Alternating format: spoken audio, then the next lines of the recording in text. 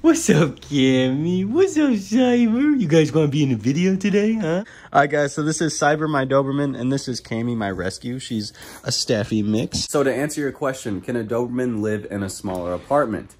There's a few factors that play into that question where I can tell you yes, no, or maybe. So obviously right off the bat, I'm not in a place to tell you whether you should get a dog or not because I don't know your situation. But I can tell you the situation that I was in, like the comment said, a small to mid-sized apartment, and I made it work because he's still here now. I didn't get rid of him because I couldn't handle the high energy breed. I did my research. I knew what I was getting into and I knew I was going to change my lifestyle to match his lifestyle anywhere I can because I wanted to have this Doberman.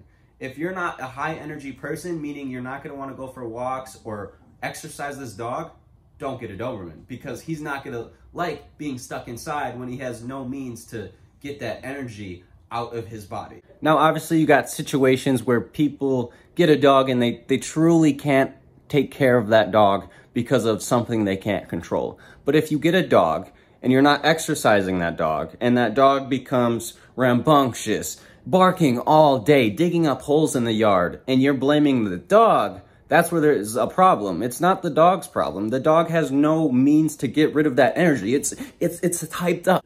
So I'm 100% confident that if I lived in a cardboard box, my dogs would love me just as much. Why? Well, dogs really don't care where you live. Whether you live in a cardboard box or a mansion, if you're giving that dog love, affection, always training it, just keeping its mind active, socialization, and exercising, the dog's gonna love you the same amount. Now, Cyber could care less if I added an extra bedroom to my home, but I'm sure he would be thrilled if I added a bigger yard. So I would much rather live in a super small apartment that has direct access to a park than a mansion with a tiny yard. That's just how it is. Earlier in the video, when I said changing your lifestyle, before I had a dog, I never really biked. But then I got a dog and now I'm biking every day. I love it. He loves it. I love it because he loves it. Do I bike my smaller dog, Kami? No, she's a little bit older. Like I said, she's a rescue. So those are things you have to keep in mind. If you're adopting an older dog, you might not have to exercise that dog as much as I'm telling you guys that I exercise Cyber. But if you're getting a puppy or a younger dog, let me just tell you something. It started off with like, you know, 30 minute walks, then it goes to one hour walks.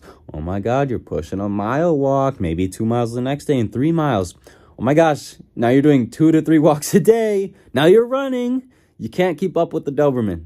A young Doberman in solid health can haul ass for a very long time. They're really athletic dogs.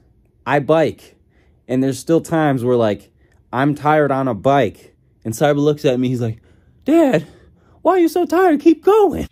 So if you live in a smaller apartment, there's a few things you gotta keep in mind. I assume there's gonna be people around you, so you definitely wouldn't want your dog barking all day, because then you're definitely gonna get a complaint. So from the very start you bring your dog home, work on not enforcing barking with positive reinforcement. For exercise, Maybe there's a dog park nearby, some hills that you can run with your dog, some trails that you can bike. I'm sure there's something. And if there's not, you know, maybe a dog, especially a high energy dog like a Doberman, might not be the best for you. But I do truly think there's a dog out there for anybody. If you want that dog, you're gonna make it work. So if you really want a Doberman, you'll find a way. I lived in a small apartment. I found a way because I wanted this dog. If you want a Doberman and you're going to put in the work to take care of it, do it. If you have a small apartment and you're just going to have the dog sit inside all day and then you get home and you let him out on the balcony or a rooftop yard or whatever it is, and it's not going to have that, that space outside to release all that energy, please don't get that dog. That might not be the best idea. Again, I don't know your situation but I'm speaking from my experience. Also, when I say speaking from experience, I'm not just talking about raising Cyber and, you know, adopting Kami. It's not just that. When I was little, I had a family dog. That dog wasn't my responsibility. However, we did have to get rid of him because the neighbors complained about him barking all day, which is why I really, really want to enforce that you guys know what you're getting into. I don't mean to end the video like this, but at the same time, I don't want anybody else going through what I had to go through. I'm not trying to make you feel bad for me, but this was my first dog. That dog's name was Finnegan. Finnegan got ripped from my arms and sent away. That's how I saw it. That's that's exaggerated. Finnegan wasn't getting the proper attention he needed. My mom worked a lot. I was seven years old. I didn't really know as much as I know now when it comes to taking care of dogs. And he did go to a better home. The reason why I'm telling you about Finnegan isn't to make you feel bad for me or to paint my mom as some bad person.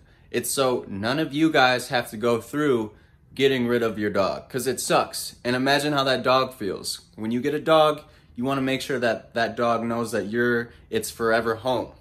And it doesn't care if the small apartment is its forever home if it's getting that proper exercise and attention. I hope that answered your question and I hope you guys have a good rest of your day. Goodbye.